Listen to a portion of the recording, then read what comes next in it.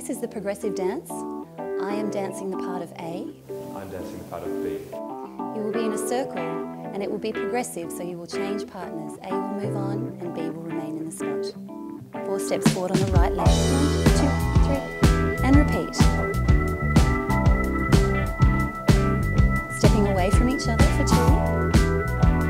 Back together and repeat. Then you move to the inside of the circle.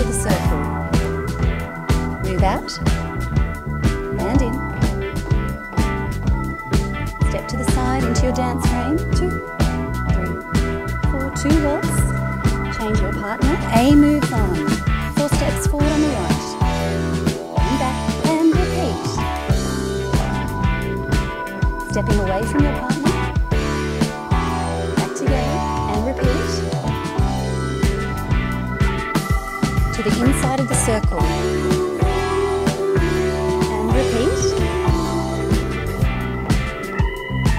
Steps into your dance frame. Two walks. Change your partner. A moves on.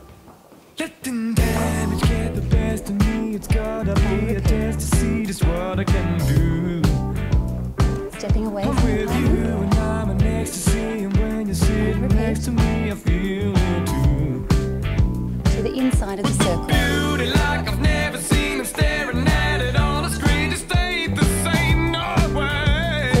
Into your When dance I frame. hold your body close to mine, your skin is touching mine. I find that it's gonna be moves on. okay.